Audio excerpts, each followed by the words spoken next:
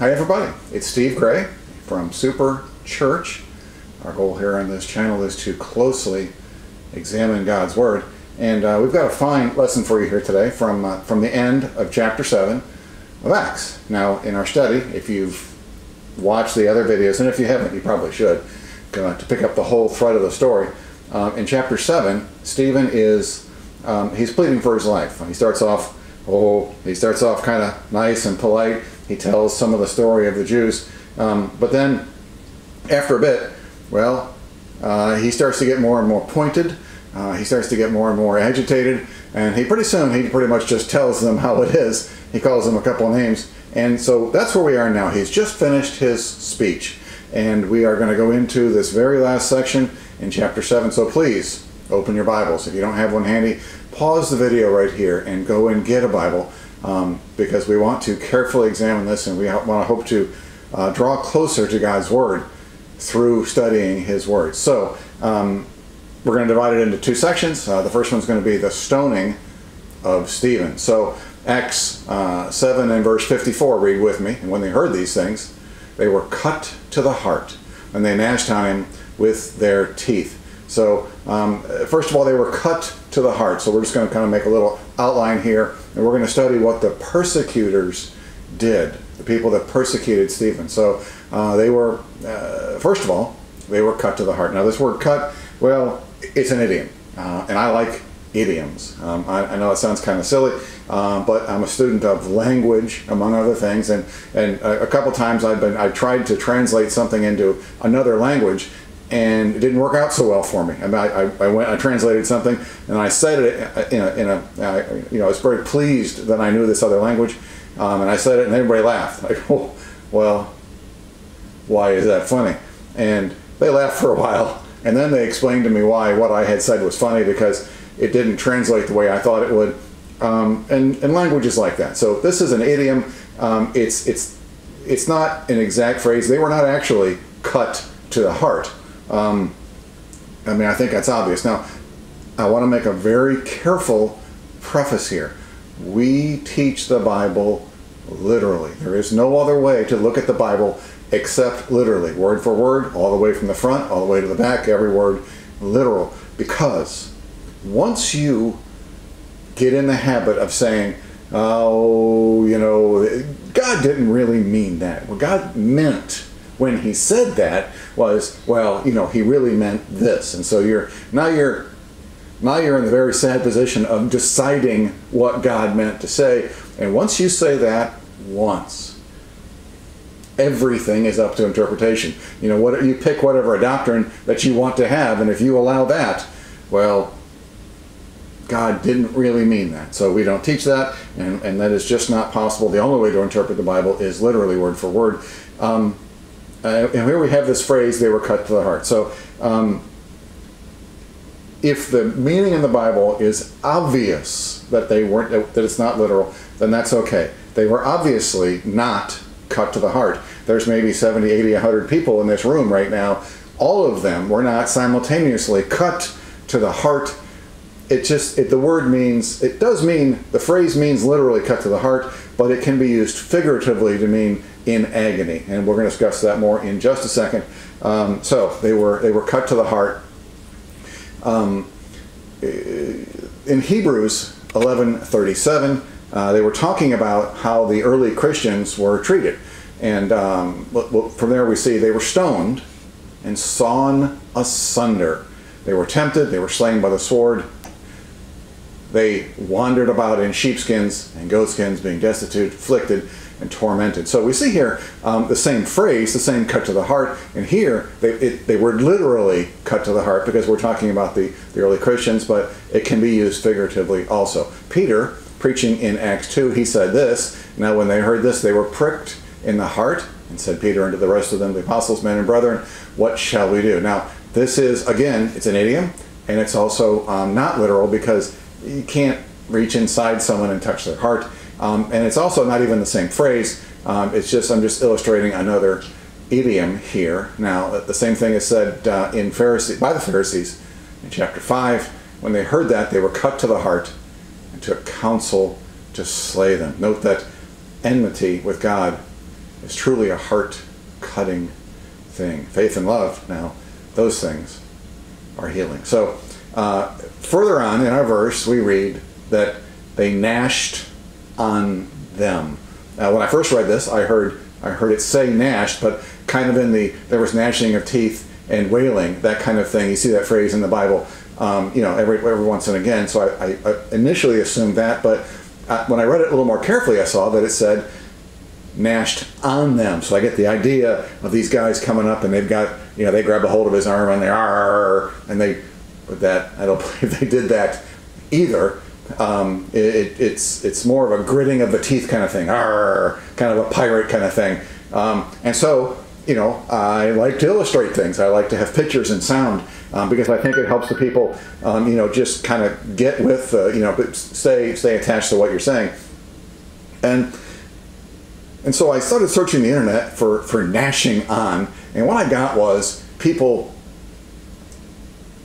with their dogs, a lot of times small dogs, and they were the, the dogs were growling. And so, they, so what they do, of course, is they take their cell phone out and they video the dog, and the dog standing over his food bowl, you know, protecting it, little chihuahua or something, and I, I, I want to be careful what I say on the internet, but I'm not too, I'm not, I don't take a dog growling at me very well. I would encourage the dog strongly not to do that again. So here I'm having all these thoughts about this encouraging of the dogs, and I'm thinking, man, I really can't say that sort of thing in Sunday school. That's not going to go over too well. So I scrapped the whole thing, and I started searching for an image that I thought would, you know, would convey, oh, you know, gnashing of teeth. And, uh, well, in the end, I never really found anything that I thought worked all that well. So we'll just go, we'll just go right past that. Um, notice great malice and rage that they have for Stephen. I mean, these guys are seriously mad. It's kind of mad that we don't come in contact with very often in our society. They're, they're, they're murderers. They're about to take his life personally by hand uh, Job describes his enemies like this He teareth me in his wrath, who hateth me. He gnasheth upon me with his teeth. Mine enemy sharpeneth upon his eyes upon me. That's a pretty, pretty accurate example. So I get the image of dogs. And uh, Peter here, I'm sorry, Paul here, he warns us about dogs. He says in, in Philippians 3 2, Beware of dogs, beware of the evil workers, beware of the concision. Concision is it's like the splitting or the separating. Um, so not only do they have great malice and rage against them, but they have great vexation within themselves. And Psalms 112 kind of describes this type of torment. Psalms 112:10 says, "The wicked shall see it and be grieved; he shall gnash uh, with his teeth and melt away, and the desire of the wicked shall perish." So this, this evil causes a great torment within them. So let's keep on reading. I hope, I hope you're following me in your Bible. I hope you have a pen out um, and you're just following me verse by verse uh, because we really do want to get closer to God by getting closer to His words. Uh, verse 55 But he, being full of the Holy Ghost, looked up steadfastly into heaven and saw the glory of God and Jesus standing on the right hand of God and said, Behold, I see the heavens opened and the Son of Man standing on the right hand of God. So those are those are glorious, glorious verses. You say, Brother Steve, why would you why would you go over those verses so casually? Because because you know we know you pretty well, and you're kind of an over the top kind of guy, and I am. I don't mind telling you. Um, so why wouldn't you why wouldn't you just? You know, I get this image of me. Um, here trying to teach these verses and I got I've got I'm backlit and the light is kind of dimmed and I've got this halo effect going on and maybe you know maybe a fan over here blowing blowing my robes and just looking kind of um, but we're not going to do that um, we're uh, truthfully we're just going to come back to this um, uh, I'm talking right now about the persecutors. I'm talking about the people that persecuted Stephen, and um, and so I want I want to stay on that topic for just a few more minutes. Um, and I've got this really great outline going, and I know there's a couple, three of you out there, and you're like, man, I wonder how this outline ends. I'm writing, I'm hanging on the edge of my seat, so I want to keep you guys happy, and we'll just we'll just keep right on. with this with this persecutor's outline. Um, look at verse 57. And they cried out with a loud voice. So so they, they, they cried out. So um, uh, I'm thinking maybe 100 people in this room because there's 70 in the council. The council is comprised of 70 of the elders.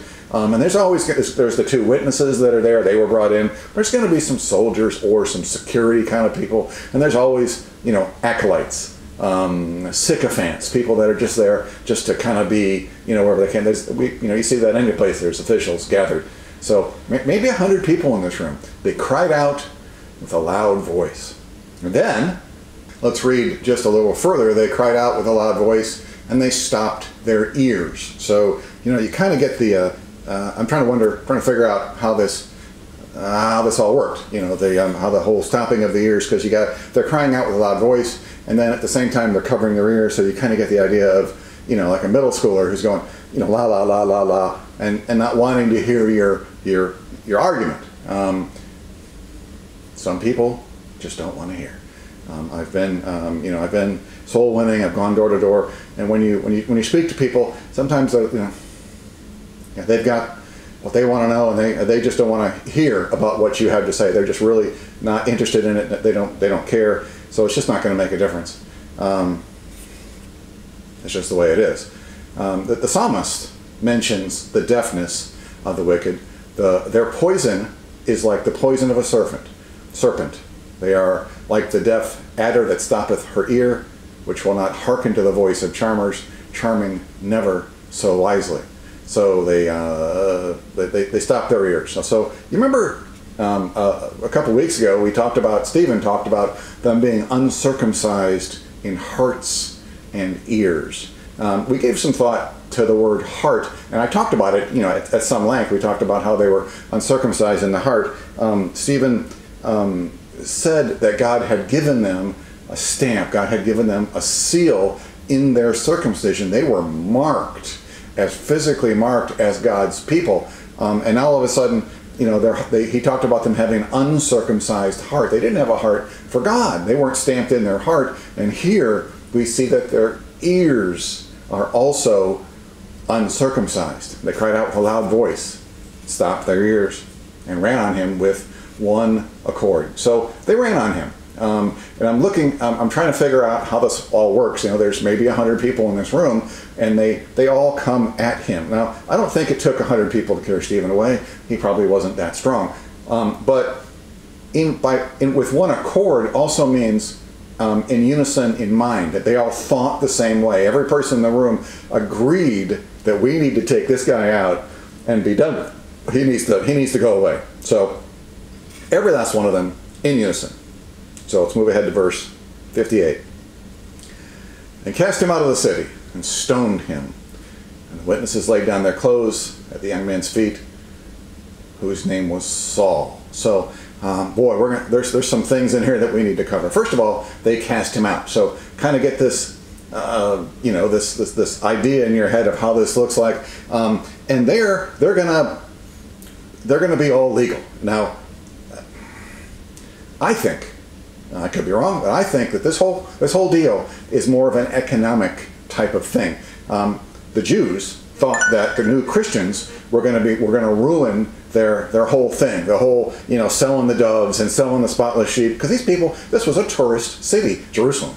Um, and all these people showed up from miles away, miles and miles, and they all came to worship at the temple. And all these merchants had these things set up, and if if the if Christ were to you know tear down the temple, oh, what would happen to our tourist trap and, and, and our and our economy? And uh, it scared them. They were they were just scared. They were um, uh, they, they didn't know how they were going to eat if they didn't have this tourist thing going on. So they, they fell back to the law. They found a reason to kill Stephen and they used it. So um, now, Pastor, on Wednesday night, just last Wednesday night, um, he brought up a wonderful outline that I very carefully noted. And, uh, and Pastor, I may be preaching this sometime soon. I don't know. It's a great outline. Um, Matthew 5 and 38, um, we see the law of retribution, which, which says an eye for an eye. That was the law at the time. You have heard of old times, an eye for an eye. Christ said in verse 39, He gave us the law of love. He said, turn the other cheek. Um, and then in verse 44, we get the law of Christ.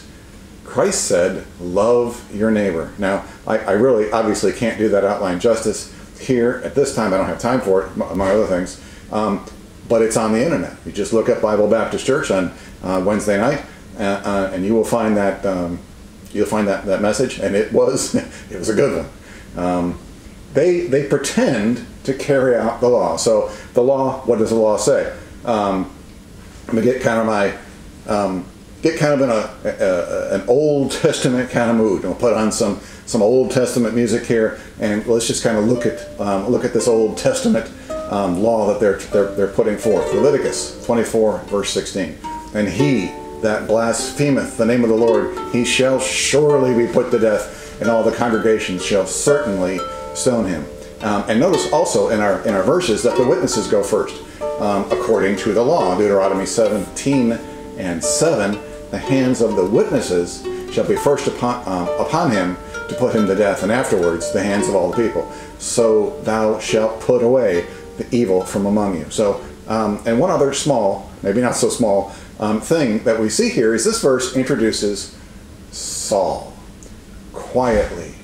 One word, just a, a, a little tiny introduction. Um, I study cinematography. I'm not very good at it. Um, I don't have the creative sense to really do a good job, to really do anything like make a movie or, or follow a script or anything like that. Um, but I'm pretty adept at copying other people. And so uh, I, I read and I learn and I listen to what all these great people say. And one of the things they say is that you should have a, uh, a scene that, that, that introduces um, what you're talking about you should have an establishing shot. That's the name for this deal. So, it, um, boy, I'm embarrassed to even admit this.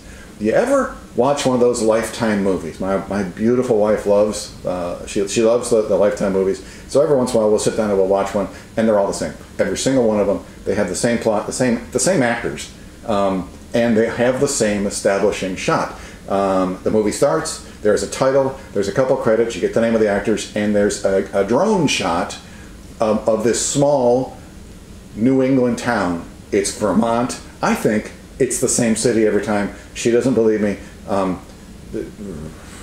I'm usually right though. So they have an establishing shot. They, they start to tell a story and they bring in the view of the city. And I've long said that there's a couple reasons that uh, when the scholars look at the different reasons why the book of Acts might have been written, why did he write it?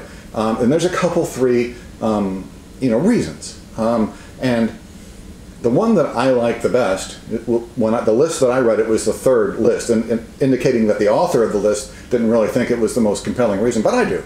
Um, and it, that's that Luke was writing to, to beg for Paul's life. I think that he wrote the book of Acts um, to beg to, to, to this Roman official named Theophilus uh, and to beg for his life. Um, you know, the prevailing view is because Christianity was so new and, and they didn't know what to make of it. And these Christians, they're just gnats. They're mosquitoes that buzz around and cause a lot of trouble and cause a whole lot of commotion. And, and boy, they just don't seem useful. And how about if we just squash them all? Because that would save a lot of trouble and get back to the peace so that people can get back to sending us their taxes. Um, and so uh, Paul, uh, Luke is trying to write to Theophilus and say, listen, there's something to this. You should pay attention. Um, and he starts with an establishing shot. you, wondered where I was going with that. He starts with an establishing shot.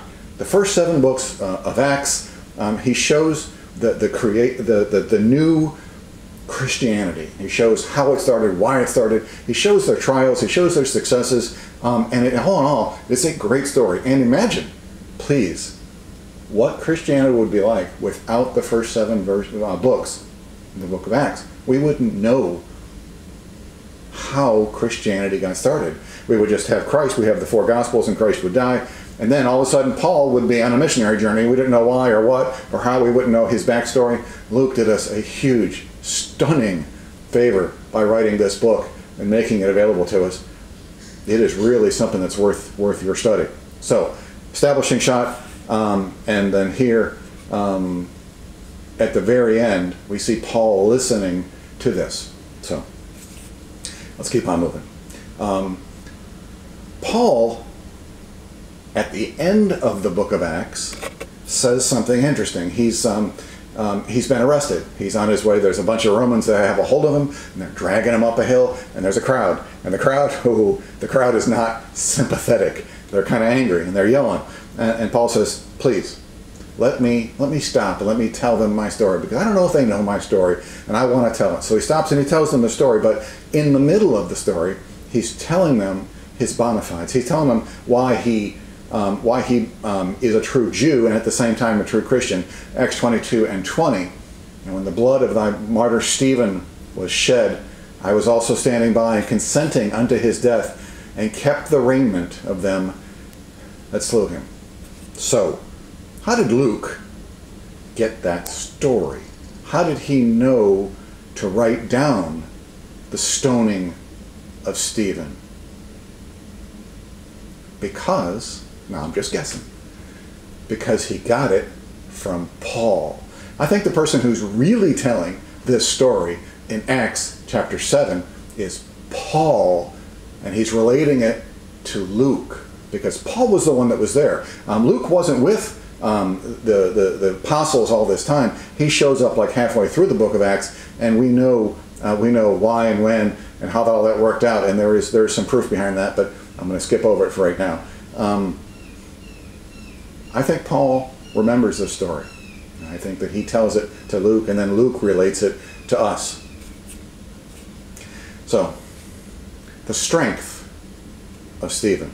And they stoned Stephen, calling upon God. This is verse 59. And they stoned Stephen and calling upon God, uh, Stephen calling upon God, not the persecutors, and saying, Lord Jesus, receive my spirit. So, again, set the scene um, you know, kind of get an idea of how this is, what this looks like. So there would have been an interior room where these men met somewhere in the city. The city wasn't that big, a couple thousand people, um, not not a whole lot um, there, um, and and so they would have dragged him out of this room, dragged him through the streets, and there would have been a stoning place because this was not the first time they ever stoned anybody. Oh no, they they do this regular. Um, so there's a place, and there's a whole bunch of rocks right there that they had already used, that had already done their deed, you know, in times past. So, and, and then when they're walking by, oh, they gather a crowd. Um, I know you've watched uh, like westerns because you know I, I, watch all the westerns because because I'm a guy, and and whenever there's a hanging, well, they draw a crowd. I mean, people would show up days early to see a hanging. Uh, you know, they, the women and children would be out there playing, and they'd be barbecuing, and they'd just be they'd be having a time because a uh, hanging was an event. And I imagine that a stoning was a similar event for these people. So there was been by this time there would have been quite quite the crowd. Um, God tells us that He blesses His warriors. 1 Peter 4 and 14. If ye be reproached for the name of Christ, happy are ye for the Spirit of glory and of God resteth upon you. On their part is evil spoken of, but on your part he is glorified. Now, we're going to see the Holy Ghost in Stephen in just a minute, but let me remind you that we knew that the Holy Ghost was in Stephen from the moment that we met him, Acts 6 and verse 5. And the saying pleased the whole multitude, and they chose Stephen, a man full of faith and the Holy Ghost. Um, I, I, have to tell you, Christian, um, that is what I want other people to say about me. Um, I don't want them to say that he's he's good looking because I mean, goes without saying, obviously. Um, and I don't want them to say that he's bold or brave um, or that he's honest or true.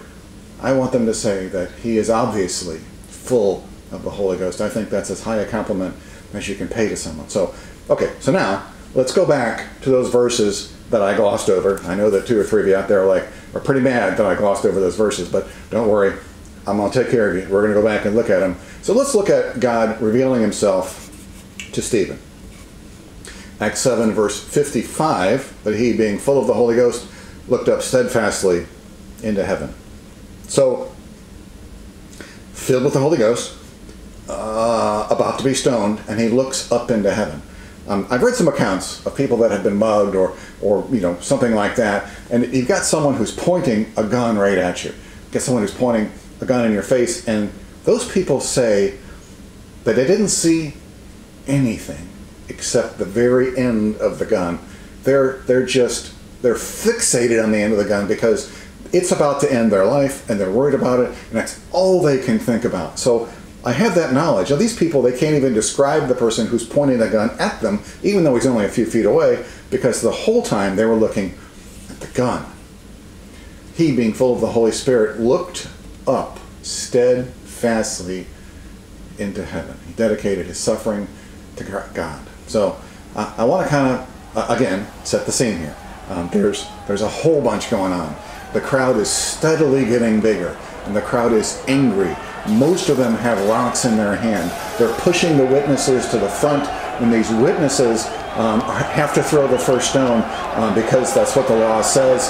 And everything is getting very heated, and it's getting very crazy. And he says, Behold, I see the heavens opened. Oh my. Oh my. That must have been something. Um, I wonder how this came about. I mean, I don't, I don't think I'm ever going to know, but did he suddenly have his eyes strengthened that he could see up into the third heaven? Because that had to be, a, I would imagine, a distance away. I don't know. Um, did he get a vision like Paul? Um, did he suddenly, that he was able to see this sort of thing in a vision? Or I don't know. Maybe God was actually there. Maybe maybe God was just right there, right above the crowd, and he looked up and he saw them. I don't know. Um, I know that he saw. Um, the uh, the Scripture tells us that that Christ sat on the right hand of God, but we never. No one ever actually saw it. They saw God going up into the clouds. They saw Christ ascending it up into heaven, but they never saw him sit at the right hand of God. There's only a couple people that actually saw that. Paul saw it. And John saw it. Revelation 21 2. And I, John, saw the holy city, New Jerusalem, coming down from God out of heaven, prepared as a bride adorned for her husband. And he saw the glory of God, Jesus standing on the right hand of God, verse 56, and said, Behold, I see the heavens opened, and the Son of Man standing on the right hand of God. Stephen saw God. Oh my. That, that breaks me up. Now, if you have a pen in your hand, and I, I really hope that you do, um, write down in the margin of your Bible, Stephen saw. Underline that word, saw. Stephen saw. It's only a couple times in the Gospels that someone actually saw. It's pretty powerful. And then, underneath that, write down Stephen said. Stephen said out loud. What did he do? He told others. Christian, listen. Stephen saw God, and he did what he did every other day of his life. He went around and he told others. Now, I know that if you're in a church that does soul winning, I know it seems like no one is listening. I know it seems like you spend all your time all your wind, all your efforts, no one ever seems to listen. Paul heard. Think about that. Paul was standing there. He was guarding their clothes, the ones that were closest to Stephen. And he heard. He wrote it down. And it made enough impression on him that he thought it, thought it worthy to repeat to Luke later on. And just in, if you stay with me, in a couple weeks, we're going to see him getting saved. And you have to know that this experience, that watching Stephen see God, has to be something that weighs on your heart, something that, that eventually will get in there. Verse 59 They stoned Stephen, calling upon God, saying, Lord Jesus, receive my spirit. Now, Stephen, in the presence of God, is not above praying stands there in the presence of God and he prays for himself. Think about that. Read that verse again. Lord, receive my soul. That's something worth worth meditating on. Verse 60. And he knelt down and cried with a loud voice, Lord, lay not this sin to their charge. In the presence of God, Stephen prayed for others. I can't imagine a more moving testimony that anyone would ever have. Now, um, I know that in my personal life, I have a person who is actively hurting me. Now, their actions, I don't think that they, they do it on purpose to hurt me, but their actions do cause pain uh, out of thoughtlessness, um, cause great pain. Um, and so, it, not too long ago, I made a decision that I wasn't going to deal with this anymore, and I this anger in my heart, and I was I put their name at the top of my my, my prayer list, ahead of my wife, um, ahead of my friends, ahead of my class, who I love dearly. Uh, I put this name right up to the top. Now, it, some of you might say you probably paid they would get shot or something like that. No, uh, I know I don't. I, I pray for pray for good things. I pray for wisdom. I pray for patience. I pray for peace. I pray for all of God's blessings um, and that sort of thing. Um, it can change your life. Um, that's what Stephen did. The, the people that were hurting him the most, he asked for God's favor for those people. And remember, this prayer is being mentally recorded by Paul. And later on, it did make a difference. And then, the closing statement in our, in our, in our lesson today, when he had said this, he fell asleep. And I looked up, just to do it, I looked up the word to sleep because um, just that's what I do. Um, and it has the meaning that you think it does. It means literally fell asleep, and then they say figuratively he died. And that's what happens was he, he died. So what's coming up in our future study? Um, uh, Acts 1 through 7 um, is the establishing shot. And it talks a lot about um, John and Peter. Um, chapter 8 is going to be all Philip. Uh, chapter 9 is going to be the salvation of Paul. Um, 10, 11, and 12 are Peter because Saul, after he gets saved, he, he, he, has to go away. He has to go away to his home city of Tarsus um, because, just let's face it, just because you're saved, you can't go a witness to the people that you were trying to kill. They're not going to be too happy about that no matter what. You, your testimony is kind of shot. So uh, Paul goes away, he goes to Tarsus, he stays there for a while, and then he begins a series of missionary journeys. And we're going to very carefully study all those journeys, and I thank God for the study. Let's pray. Lord, your, your study today has been powerful and moving. It's been beautiful. At the same time, it's been bold. Lord, I, I pray uh, that you would take care of your Christians. Help us all to, uh, to get closer to you, closer to your word, and help us to grow, grow closer to you through the study of it. Thank you so much. Subscribe to the channel if you don't mind. Um, and hit the like button because it helps. And even more than that, I would love to have a comment from you to let you know, to let me know what you think um, of this time and effort that I'm spending doing this. God bless you. We'll see you next week.